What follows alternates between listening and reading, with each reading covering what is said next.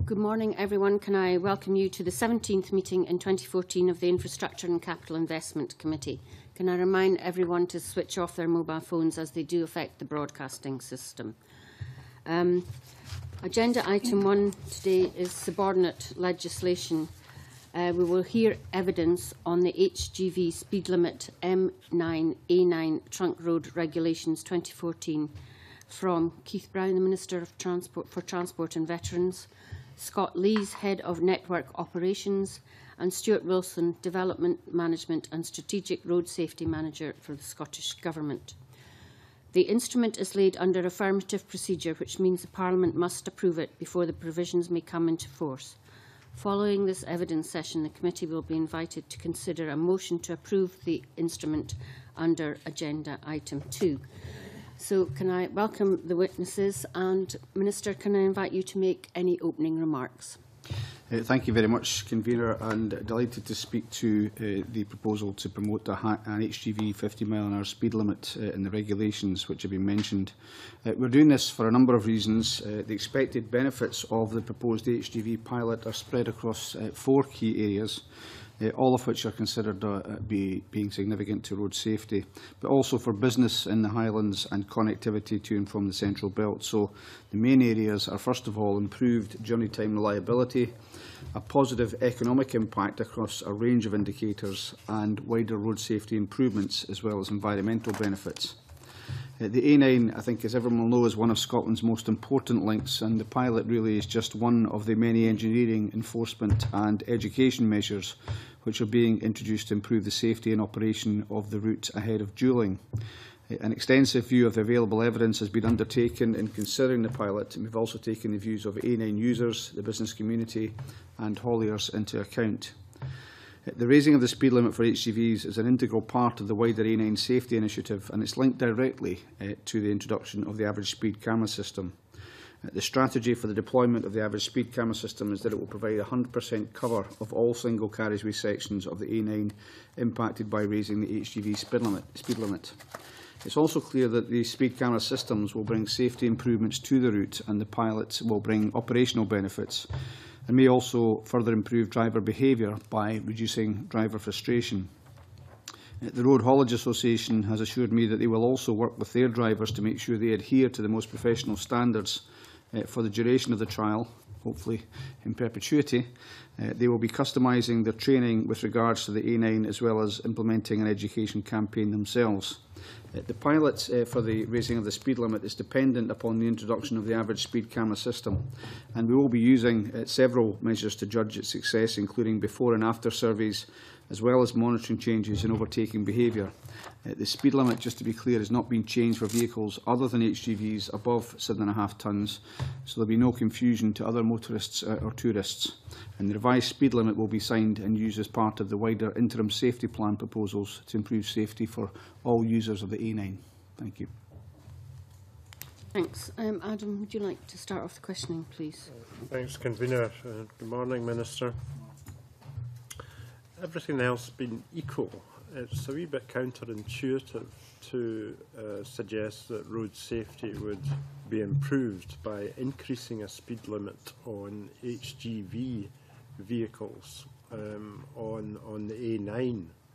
Um, could you perhaps um, develop your uh, your thoughts on why why this would actually be of significant benefit? Because um, according to the Transport Research Laboratory, um, who did a report for Transport Scotland back in 2009, uh, they concluded by saying reduction in in the number of accidents is likely to be greater if the speed limit is retained at 40 miles an hour for HGVs rather than increased to 50 miles an hour. But yes, I've seen that, that, that study, and um, I think our point is that um, the way in which it will improve um, accident statistics and the safety of the road is first of all by uh, reducing the levels of queuing which you currently see um, and overtaking uh, associated with uh, slow moving HGVs. You'll appreciate just now you have quite a substantial differential between the 60 mile an hour limit for other vehicles and the 40 mile an hour limit for uh, HGVs and that differential uh, we believe causes frustration uh, and also we can reduce frustration by taking this measure.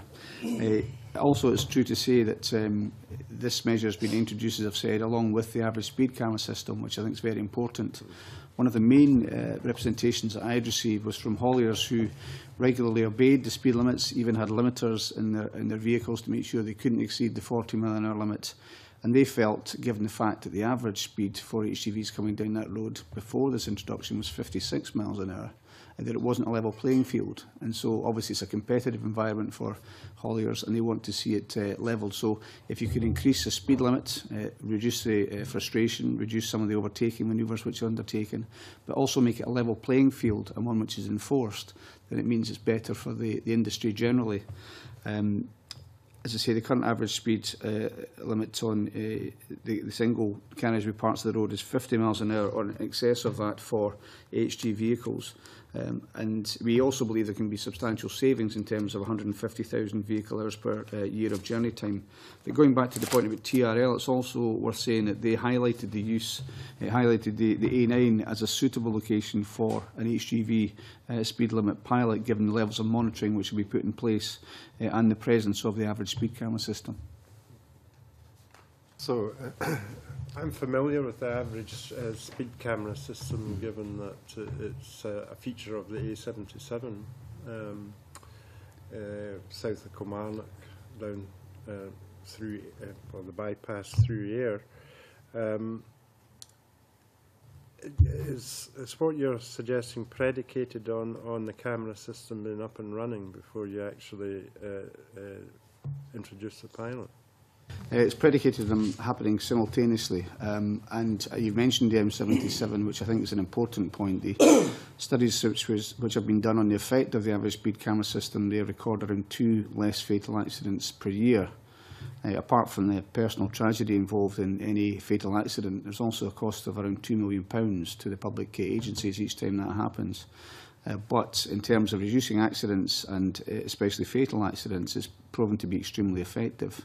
And that's why we believe the two things should happen at the same time. We shouldn't really have one without the other. Um, I think there was a point made by uh, Alex Johnstone publicly as well that you should consider these two things together, which is what we've done. And that, along with another number of other measures, for example, you may have heard the campaign about uh, overtaking. Uh, quite a graphic campaign on radio, the tick, tick, tick of the indicator, and people saying this could be the last sound that you hear. uh, because we, we know that is uh, a cause of accidents on that road. So uh, that's why we think the two things uh, should go together, that we properly enforce the speed limits which were there, but we uh, try to reduce frustration uh, and the platooning and the queuing which goes on. Thank you. Minister, you mentioned the uh, ec uh, um, potential economic uh, increase or impact of the uh, increasing the speed limit. Could you um, maybe expand on that a bit? What what were you thinking of in terms of economic impact? Well, I, I suppose two main aspects. One in terms of um, uh, journey time, which can be reduced for HGVs. Um, uh, previously travelling at 40, and they've been able to travel at 50. So I think I mentioned 150,000 uh, hours has been a, a reduction. Now that obviously factors through to um, time spent uh, for drivers, uh, uh, fuel, um, but having that journey time reliability as well as the reduction is very important so people can make an estimate of what it will take to go the length of what's one of the most important economic routes uh, in the country. So it's both in terms of journey time savings and the savings that can produce for companies and ultimately customers by bearing down on costs of uh, transportation, but also in planning, being able to have more certainty as to how long it will take you to use that road. Okay, and Mark? Thank you, Kavina. As part of that economic uh, modelling, has there been any assessment of what the impact will be on rail freight um, by increasing the speed limit for HGVs? Well, we have um, in the STPR uh, in 2008 uh, undertaken work uh, since then to highlight the commitment to both road and rail freight. And the STPR highlighted reducing of the A9 and improvement to the Highland, uh, main line, both of which are being progressed. So we're working closely with Network Rail in developing phase two of the Highland Mainline Improvements Project. Uh, and rail enhancements include uh, provision of uh, bi-directional sign signalling to reduce the impact of engineering works on the route, increasing the length of freight loops and also removing speed limits below 75 miles per hour for freight trains. So it's not uh, the case that we're just looking at the road uh, option here, but we're also improving the rail option.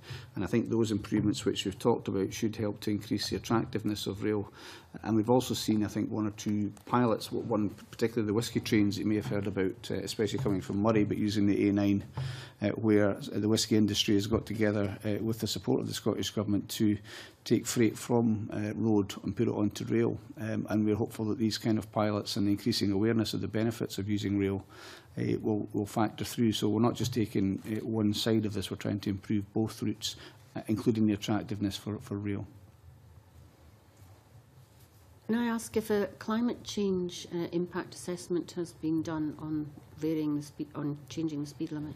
Well, it's certainly true to say that we expect there to be environmental benefits from this. I would be asked Scott to come back on the, the, the, uh, the assessments, the detail of the assessments which have been done. And the reason for that is just as you've seen when you come across the, the new, um, when you come across the, the Fourth Road Bridge just now, um, the alleviation of the queuing I just used that route myself this morning, so it's not completely alleviated, but it does mean that the traffic passes more freely and you don't have the same stop and start, which is extremely damaging to the environment. You know, cars having to accelerate and stop and start and so on. Um, so we know that the, that will reduce, or have a beneficial impact on the environment. I don't know if Scott or Stuart wants to come in the others. I'll take that from you, Minister. Morning, everybody. There hasn't been a specific assessment of how much CO2 might be saved, for instance, by the journey to uh, savings minister spoken about. We have done a lot of environmental work in terms of the average speed cameras and the 50 mile an hour monitoring. One thing to say, from experience of other average speed camera systems, which the 50 mile an hour pilot sits in the context of, the, the smoother traffic flows and more uh, organised speed, for want of a better description, means typically the engines are running more efficiently. Also, when we're speaking to the Road Haulage Association and Freight Transport Association, one thing they've made quite clear is that an HGV running at 40, a modern HGV, isn't running its engine efficiently. They're much more comfortable running at 50, 55 miles an hour because that's you know, what they're designed for. There will be savings, but I can't quantify precisely what it would be in that sense. Again, the dynamics of the A9 traffic flow are quite uh, unique in many respects. So on an annual basis, it's not really possible to say that. Okay, thank you. Uh, Jim? Um, just on that last point, um, Mr Wilson, you said that no specific assessment on the CO2, CO2 emissions had been undertaken. Can I ask why and if that is something that will be done in the future? We won't be doing it specifically, but the A9 dualling team are doing a much wider assessment of how the A9 will perform into the future with uh, differing speed limits. Given the, I'll say, relatively small numbers of HGVs, if you imagine right now 95% of the HGVs on the A9 are speeding, as the Minister said, the average speed is already approximately 50 miles an hour. The number of HGVs whose speed characteristics will change is relatively low. So 150,000 vehicle hours is what we'd expect in journey time savings. But in terms of uh, carbon savings, it's too small a number to, to be accurate on. So is it not possible to undertake the assessment then? Is that what you're saying? You could do number crunching, but the validity of the number would be questionable. I think what we can do, we're going to have quarterly assessments of this, and what we can do is, uh, for the benefit of the, the committee, uh, at least do the calculation on the 150,000 hours which we expect to save. I mean, that will be a, a judgment on what the average uh, cost in terms of the environment is so of that uh, 150,000 extra uh, hours being used by HGVs. But I think it's probably harder to quantify exactly what we save, uh, not just in terms of the hours, but in terms of the profile of traffic. If you think back, to, for example, to the M74 extension, before that came in, uh, I think we'd all experienced the um, pretty horrendous um, conditions on the Kingston Bridge with traffic back uh, back for many miles. And what you had was traffic you know, moving forward, um, stopping and starting, and that's extremely damaging. Probably harder to quantify that, but I think we can, uh, for the benefit of the committee, look at extrapolating the 150,000 hours for a figure in terms of what we'd expect to save in terms of environmental um, emissions. Okay, thank you for that. That's very helpful. Um, you have already said, you've talked about the importance of introducing the increase in the HGV speed limit at the same time as the um, use of average speed cameras. Um, and you've said that it's necessary to do those two things in parallel in order to derive the benefits that you've outlined principally around safety. But the Transport Research Laboratory report that Mr Ingram referred to, um, which was commissioned by Transport Scotland, states, and I quote, it appears that there would be a safety benefit associated with the installation of average speed cameras, whether or not the speed limit applicable to heavy goods vehicles were increased. So I'm just keen to understand better, given that you could have the benefit without the installation of the average speed cameras, why you are convinced that that's something that has to happen together, rather than waiting for an assessment of the impact of that before increasing the speed limit. I know uh, well, we're going to do both simultaneously, so both things will happen at the same time. And the reason why we link those two things together, there is a benefit, uh, we believe, Uh, economically and in terms, uh, to some extent, in terms of safety by introducing the speed limit because uh, there, there are both sides to it. The TRL report, which you mentioned, will also say an increase in speed limit can cause uh, an increase in accidents. It's possible that can happen. Um, but if that's mitigated by the fact that you have uh, proper enforcement, bearing in mind what's been said already about the, the actual average speed of HGVs on that route at the present time, if you have that enforcement and if you can take away some of the things which uh, are, are causation factors for accidents, I've mentioned frustration, but some overtaking moves when people become um, Eh, exasperated and they undertake an, over, uh, an overtaking manoeuvre which they wouldn't otherwise do. Um, but the, eh, the frustration drives to that. We believe there's savings in terms of accidents that can arise from that, but we do also believe that it should be properly enforced and the enforcement of the average speed cameras, I think, sits with the increase in, space, in speed limit, but that's not the only reason for the introduction of the average speed cameras. And it's worth bearing in mind that uh, our intention to, and all the work that's currently being done to dual the A9, um, that uh, that will in itself, because of the 12 different phases of that, will require would have required average speed cameras in any event. When you're undertaking that kind of online work, you have to have that. If you think back to the, the M80 works, there was an average speed camera system on there for the duration of the works that were undertaken. Uh, so we would have to have had average speed cameras on different sections of the A9 in any event. Uh, we just believe it's um, sensible for us, uh, given what's been said. I think Mr Ingram mentioned the benefits in at the M77 to do both things. And that's, that's, that's got a wider application, the application of the average speed cameras, than just relating to the increase in the speed limit for HGVs. It's got other benefits as well. So that's why we think both things are best done together. And just finally, what is the evidence base for the conclusions that you've reached and what work has been undertaken to arrive at these conclusions?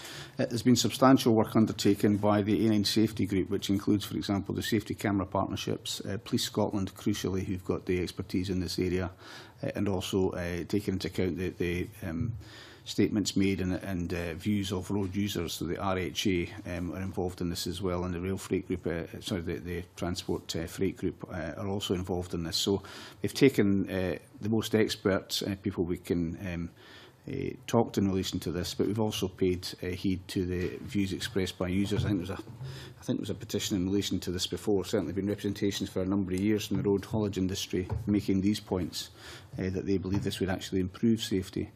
I mean, the other thing can start to um, uh, tackle is things like um, elephant racing, whereby when you suddenly come across a dual carriageway section, an HGV pulls out to overtake another HGV travelling slower, and the traffic which is looking for that relief from the dual carriageway to get past is unable to do that. And this, if you increase the average speed of these um, uh, vehicles being able to do 50 mile an hour before they reach that point, it reduces the elements of that. And I should also just say that I've, I've mentioned Police Scotland. There's been quite a change uh, in how the A9 is policed with the advent of Police Scotland. You've now got a dedicated trunk road um, uh, police monitoring unit. Uh, there's a greater presence now. In the past, it had to be um, coordinated between different police forces. Now we've got one uh, unified police force there. So we've taken the advice of these people in relation to that and also looked at, as you've mentioned already, the TRL study and such evidence is out there already. So HGVs will now be allowed to do 50 miles an hour uh, along the route. What what is the average speed? Um, but the average speed cameras are going to apply to all vehicles. Yes. So what is the average speed that you expect people to do on that road? the, the legal speed limit or less, I think, is the, the short answer. But of course, there's still that differential between all other traffic, which can uh, travel at 60 miles an hour, uh, and you've got the HGVs, which are currently restricted to 40 miles an hour on the single dual carriageway, it's 50 miles on the dual carriageway. So we expect, uh, with the application of the speed cameras, uh, to have uh, people obeying the speed limit. So we're looking for uh, average speeds, um, well, just now you've got an average speed in excess, 10 miles in excess of the legal limit. That's the average speed for HGVs, and we're looking to try and reconcile those two figures. And the on the schedule, it's the um, the A9 from Luncarty to Moy is divided into about eight parts. Does that mean that there'll be average speed over each of these eight parts? No, the average speed cameras allow us to get information as to the average speeds uh, of, uh, and the survey work that we're undertaking will allow us to get average speed right across the length of the A, A, A9 from Perth to Inverness. That's the intention behind it. In fact, even beyond that, coming to Stirling, because the average speed camera will cover Stirling to Perth as well. So uh, that that's information, and uh, I should just point out that the cameras are the latest uh, digital cameras, so they're able to differentiate between types of vehicles to make sure they're travelling at the correct speed. But that will give us much more information about what the average speed uh, is along the length of the A9. I don't know if you want to say anything further on that, Stuart. Before you bring in uh, Mr Wilson, so um, I'm just trying to get how do you police it? Do you fine people for going above the average speed over a stretch? And can you, is what I'm trying to get at, could you get, you know, three or four different fines or tickets because you're travelling at a great, at a, over the limit, if you like, uh, on different stretches? Well, obviously, it's, it's possible for somebody to use part of the A9. Um, so the average speed that they've used on the A9 uh, will be taken into account. So you could be fined for one part. You could go along the A9, come off Dunkeld, come back on, go back. So yes, you could be fined uh, more than once for that. I don't know if you want to say any more about the mechanics of it, though, Stuart. Yeah, thanks, Minister. The eight sections which are set out in the schedule are the single carriageway sections between Perth and Inverness. Between Perth and Inverness, the average speed cameras only apply to the single carriageway sections. Now, the operating strategy in terms of what sections are live and what sections aren't will fall to the safety camera partnerships. Transport Scotland won't know what sections are or are not under enforcement. The point for drivers is you shouldn't know you should drive at the speed limit. Not all of the sections will be live, and the Home Office type approval for the system requires that you have to enforce within a single geometry in the sense you can do single or dual carriageway, but you couldn't enforce over a combination of the two. And the strategy for Perth and Inverness is very much based around the accidents are currently on the single carriageway sections, therefore the average speed cameras are devoted to enforcing on the single carriageway sections. They won't enforce on the dual carriageways. The police and safety camera partnership can deal with that as part of a separate strategy. In terms of could you pick up more than one uh, penalty, if you like, for driving by excess speed? Yes, you could. If you passed through two live sections and you were recorded twice as having driven you know, at excess speed, average speed cameras are fairer than the kind of fixed GATSO cameras. You can adjust your speed over a long distance simply to maintain an average. Quite often you can make a mistake over a relatively short distance, pass a fixed camera site, and you have points. So it allows the driver to be more disciplined in terms of how they use the route, drive at a fixed speed, which you know, 60 miles an hour, up to 70 miles an hour for cars on the dual carriageways. You can do Perth Inverness comfortably in two hours or less. There's you know, a lot of evidence, and be it from what we've collected or what the A9 team have collected, some folk are achieving that trip in 90 minutes. We've seen average speeds of 80, 90 miles an hour, point speeds of 125 miles an hour. Now, we just recently completed some driver surveys where three quarters of the people we interviewed admitted having sped at least once on a, the most recent trip on the A9. Most of that was a relatively low, uh, three or four miles an hour above the speed limit. A third admitted 10 miles an hour above the speed limit. A fifth admitted 15 miles an hour above the speed limit. And that was car drivers, that wasn't HGV drivers, that was just folk that we spoke to. And you know, credit their candour, that's what they admitted to doing. That's what a lot of people do in the A9. Not the, not the majority. Only a third of cars are speeding. Two thirds are driving on or around the speed limit. Again, just reinforcing the point the minister's made. by raising the HGV speed limit on the one hand and introducing an average speed camera system on the other, the current legal speed range, if you like, is 40 for HGVs. Most of them don't do it, to 60 for cars. And a third of them are travelling faster than that. The desired speed's closer to 70 when you look at some of the modelling outputs. You bring all of that down to 50 to 60. Everyone can travel within a relatively small speed range. And anyone who does that, the average speed cameras are irrelevant. If you're obeying the law, they don't exist. It simply requires you to obey the law and think about what you're doing. If you don't do that, you've got every possibility of picking up penalties for driving you know, at excess speed. You'd have to be doing that over a long distance consistently. And those are exactly the people we want to kind of moderate the behaviour of. And in um, our local paper in the northeast, NESCAMP pub publish where the uh, speed cameras are going to be operating in the in the following week. Will that happen on the E9? There's to be substantial signage and a public education campaign to alert people to the existence of the average speed cameras. But the ones I think you're talking about are ones which are mobile, which the police can move around, so they'll let people know. the intention is to try and prevent speeding rather than collect fines. And just to kill off one myth, we don't get the cash from the fines. The government doesn't get that. The camera safety partnerships don't get that directly as well. It goes back to the Treasury. Um, but um, no, because these cameras will be at fixed points and they'll be well advertised before that, so it wouldn't be the same situation as you mentioned in the northeast. Okay, thanks. Right? Alex. The, um, I was allocated the issue as enforcement, uh, and we've covered the vast majority of that already. There's a couple of points I'd like to clarify. Uh, first of all, are you confident that the uh, electronic measures, the, the average speed cameras, uh, will in themselves be the main enforcement measure for this uh, change in the rules? Uh, no, we've not said that, that that should be the main enforcement measure. It is, it is genuinely a suite of different measures, and it started already. The the education campaign we've talked about, generally the education campaign for overtaking for all drivers, but also mentioned the education campaign and training that will be undertaken by the RHA of their members as well. And these are really important, plus the additional um, policing uh, that I've mentioned, a much more coordinated way of policing the A9 in particular. There'll still be police on this road, it won't be left just to the speed cameras. So the speed cameras are an, an integral and very important part of it, but they're not the only part of it. The, I was going to go on to the issue of policing uh, and the numbers of police officers that are likely to be involved. Now, you've said that there's already been a change to the structure the, the change in the boundaries for the police. Uh, do you envisage the introduction of this measure requiring additional police presence on the road, or will the police presence on the road remain as it has been since the last reorganisation? Well, you know that the levels of policing and the deployment of police forces is not a matter that we have any control over. It will be for the police to decide upon that, and they will take that decision based on what they perceive the problem to be. But what we've been told by the police is that this makes it, that the change to Police Scotland makes it much more manageable for them to do this. You've got a head of road safety for the whole of Scotland now, um, Chief Superintendent Ian Murray. So he has control over this and he thinks it's a much more effective way of dealing with this. I mean, in the past, um, you've had uh, Tayside, uh, Highland uh, and even Central Scotland police involved in this. So whether it was a case that they always allocated the resources to their part of it, um, uh, I think is open to question. But what they can do much more effectively now is police the entire route in that sense. And they'll have a, a of course, they'll have an idea of which uh, are the points that they want to put particular police presence on. It's also not, not just in relation to safety in terms of uh, speed and so on. It's when there's bad weather and so on, the police will up their presence here. But that, that will remain a matter for the police. But they think it will have a more intensive uh, policing um, now than it has had in the past because of the structural changes that they've had. We've, we've all very carefully alluded to the fact that prior to this measure, it's possible that some HGVs have been exceeding the speed limit.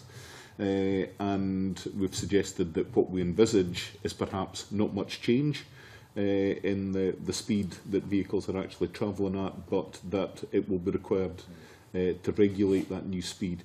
Do you envisage at the outset uh, a requirement to intensify policing activity to ensure that we don't see uh, drivers simply exceeding the new limit by the same margin they exceeded the old limit?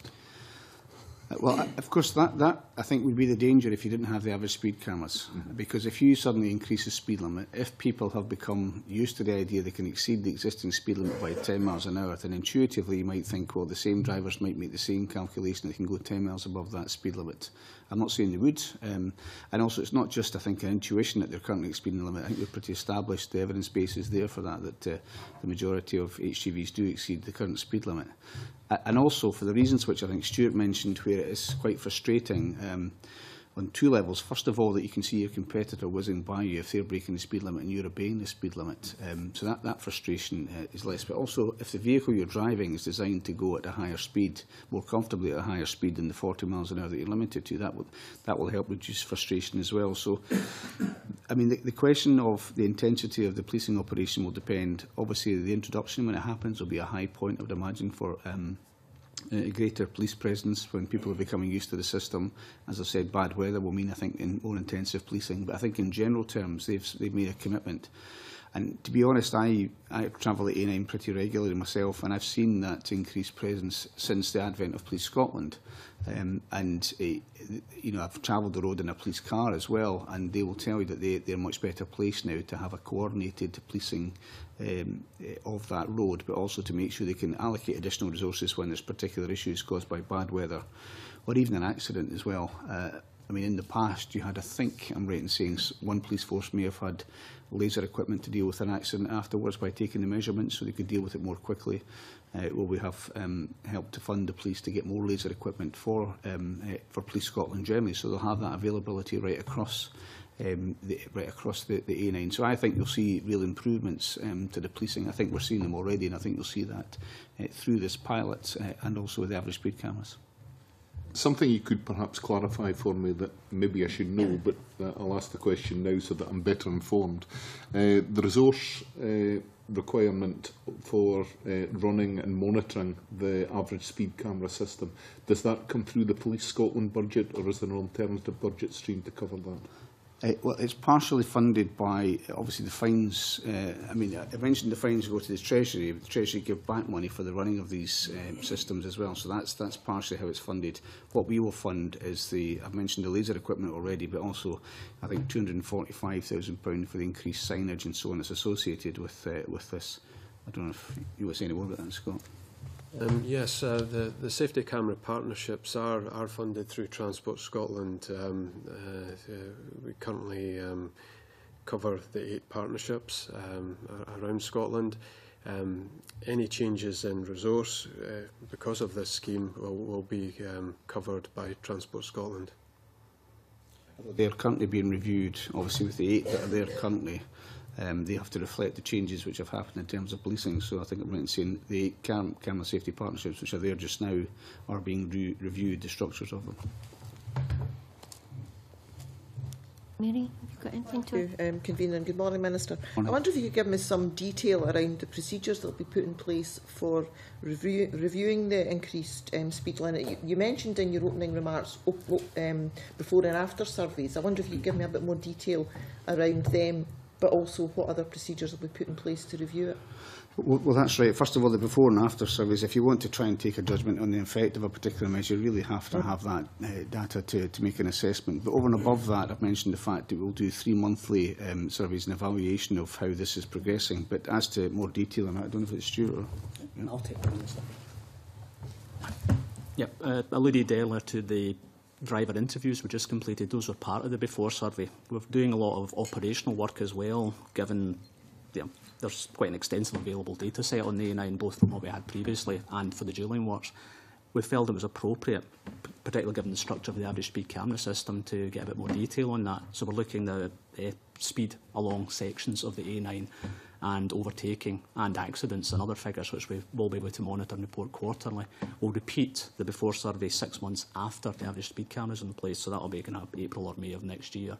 And again, that's very much based around people's experience of using the route, how they use it themselves and how they feel other people use it. And there is a section in there on how they feel that various enforcement measures would contribute to the safety of the route. And some of the initial feedback we've had, people wanted more enforcement, they wanted more police, they wanted more cameras. That's what they said in the context of the kind of feedback we've had.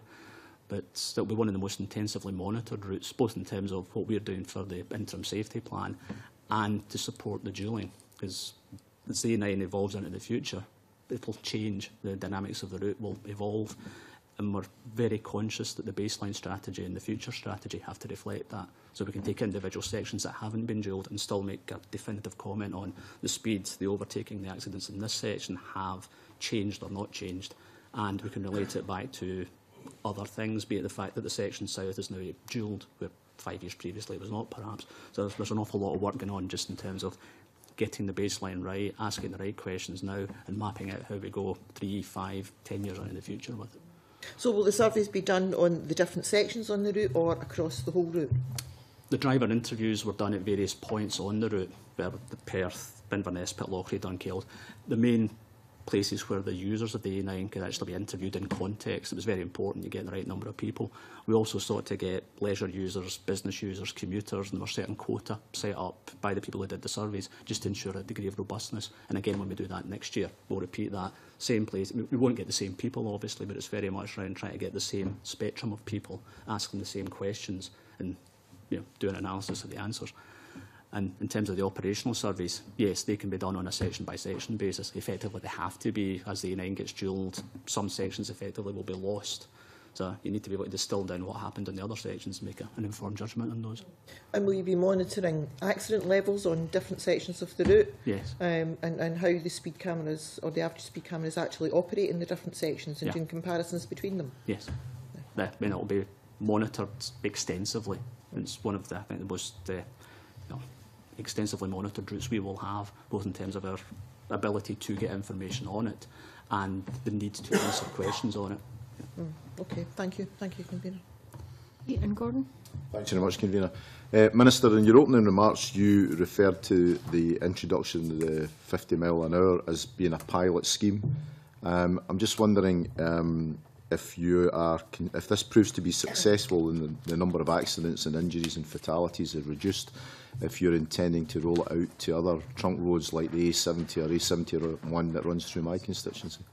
Uh, no, I, I have no intentions and no plans to do that. And the reason for that is I think the A9 is quite unique in respect of that. And actually we've had a substantial number of representations from people on other routes that felt this may happen there that would be very concerned about that. They don't have um, the same characteristics of uh, as the A9. So no, this pilot is for the A9 specifically and not for uh, wider use. Uh, How, how do you measure the, that it's unique, given that you know drivers' frustration is common in all single carriageway uh, trunk roads like the A70 or the A71? And if you look at the injury stats for roads in Scotland, um, you find that the A70 and A71 are both consistently higher than the A9 in terms of injuries per kilometre. And, you know, surely if we want to address the idea of driver frustration, trying to overtake at dangerous bends, dangerous junctions like the Dalmahoy Junction, etc., then um, it would be sensible to roll it out if it proves successful in the A9. Uh, well, I don't think that, that road's, um, which I don't use as much as the A9, has the same characteristics as the A9. I mean, you mentioned the Dalmahoy junction, and that's I don't think it's a comparable junction on the A9 in that respect. Um, it's also worth looking at um, the UK government had looked at this issue of uh, a general 50 uh, increase to 50 miles an hour for, for these vehicles across the um, the rest of the UK, at least uh, in England, and they've now come back from that position and said they don't intend to do that. And I I think that's. Uh, well, that, that's their decision, but I think our decision is very much based on the fact that the A9 is unique. I think you make a very good point, though, about the accident stats, because the perception has grown that the A9 is worse than any other road, and that's simply not borne out by the statistics. But it is simply the fact that people do feel um, worried on that route. And just to go back to another point, if I could, that um, it's not just for those that would not want to have average speed cameras having the ability to do under uh, to, to take the overtaking manoeuvres that they do or to drive in the way that they do. you, you can say, well, that's their decision and they're putting their lives at risk. There's many people, and I think the majority of people, want to travel that road safely and feel sometimes worried by some of the behaviour that they see on that road. So it's trying to address those concerns, those safety concerns. So I, I think the A9 is unique in that respect, um, and it's also um, a hugely important arterial route for the north of Scotland coming to the south and vice versa. But I don't think there are other roads, including the one that you mentioned, which have the same characteristics. But I don't know if there's a more technical explanation that the guys would want to give on that. Add a wee bit for me, Minister. I mean, part of the consideration for the A9 in terms of the single carriageway is it's a much better engineered single carriageway than you would typically encounter elsewhere in the trunk road network. As a single carriageway, it's relatively wide, and yes, it does weave about, but it's relatively straight. Those aren't circumstances you typically encounter in many other parts of the trunk road network. If you think any of the roads in the Highlands, 82, 83, 85, be the A70, the A71, even the A75 uh, down south, they don't have the same wide expanse, if you like, of carriageway. Also, as a pilot, we're comforted by the fact we are dualling the A9, so we're not setting a precedent that perhaps isn't defensible. And with the average speed cameras in place, we can both enforce speed limits generally and target any unacceptable behaviours when they do arise. So the, there are many things which have come together to make an appropriate place for a pilot, which perhaps don't apply in other routes. Are there any other steps that you'd be taking or considering to take in order to address the fact that uh, there are other roads that are higher up in terms of stats, in terms of injuries per kilometre or fatalities per kilometre, uh, you know, to address it. We're not going to address it through increasing HGV uh, eh, speeds on the road. Yes, there are. We keep these things under review. The criteria that's normally used, and again, uh, the guys can keep me right, is uh, I look back over the past three years in terms of the accident uh, rate, reported accident rate that we have for those roads. And also on other roads, non-trunk roads, we just had a major review of uh, all the roads in Scotland where we look at the speed limits in relation to that. But yes, there are reviews, so there's constantly been improvements done around the trunk road network because we believe that's a particular um, issue uh, right the way across the trunk road network. It changes over time, we improve a road and then there's another road that comes comes up in terms of priority. So yeah, it's not the case that we're forgetting about these other roads. They are constantly monitored. Worth bearing in mind that the trunk roads comprise, uh, is it 6% uh, or even less than that, of the, all the roads in Scotland. And so, and those are the ones that we're responsible for primarily. So yes, the entire trunk road network is kept under constant review. I'm um, just going to say briefly, convener, that uh, of all the roads in Scotland, the, the one that perhaps uh, shares characteristics with the E9 uh, is actually the E1 south of Edinburgh towards the border. Uh, might that be a possibility for consideration in future? Well, again, I think, as I've said, what you have to do when you consider uh, investment decisions is look at the evidence. And the evidence is that the A1 is uh, is fit for its purpose and it's safe for use. I'm not saying it's accident-free. There are no roads which are accident-free, but the A1 is fit for its purpose. I think that was the outcome of the STPR when it was conducted as well. There have been improvements there, and part of it is dual, as you know. But we believe, given the evidence that we have, that it is fit for its purpose just now. And finally, just for the record, um, when you do a pilot, you normally have an end date. But can I confirm that what you're saying is the end date will be when the A9 is dualed completely? No, uh, obviously the two things will start to come together as the duelling gets underway. We've said this will be a three-year pilot. That's what we, we started off by saying. But um, as I say, it won't be the case. We'll suddenly decide at the end of it, based on the, the, the evidence, um, what should happen. We'll be doing this right the way through that three-year period.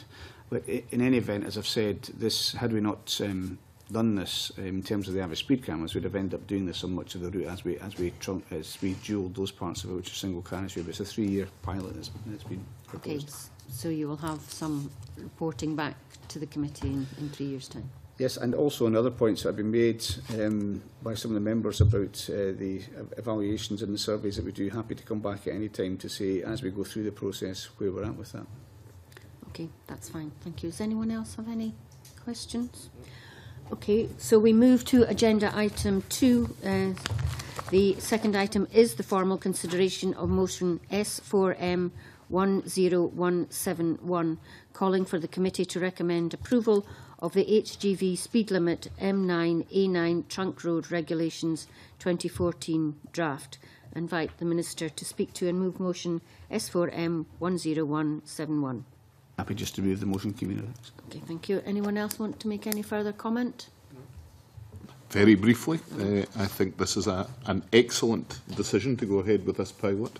Uh, I think it uh, has been fully justified by the government uh, and has been handled in an excellent way, and I hope this committee will give its unanimous approval to the measure.